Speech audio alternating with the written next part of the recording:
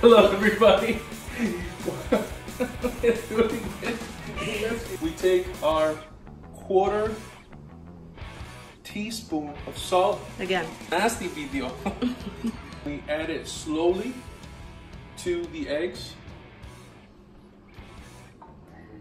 It tastes pretty good. My breakfast uh, ideas. Maybe that'll be my next video.